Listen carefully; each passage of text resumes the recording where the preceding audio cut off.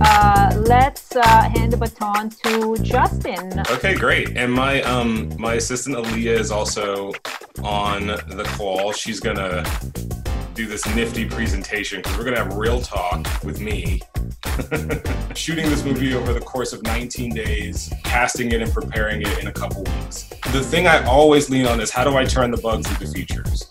And use it, whatever whatever limitation you have, use it. Try to turn it into the thing that makes your thing special. All right, thank you so much. Thank you.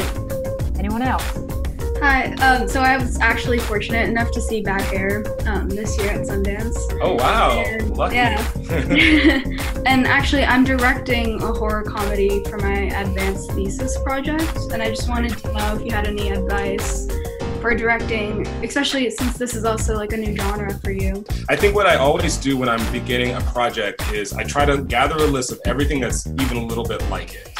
Um, you know, specifically, like I was making a, a very specific kind of Faustian monster movie.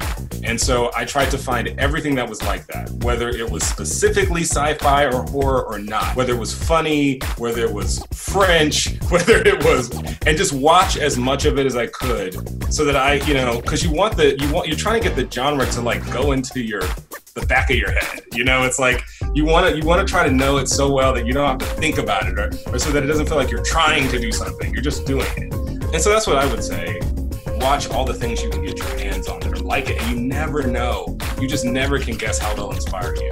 You know, everything you do in your stories is a choice, uh, and even if you didn't make that choice on purpose, it's still a choice. And um, you know, to me, that's kind of the fun of, what we get to do is, is taking control as many of those choices as you can. Thank you, Justin. Thank you Thank so you so much, much, Justin. Thank you, Justin.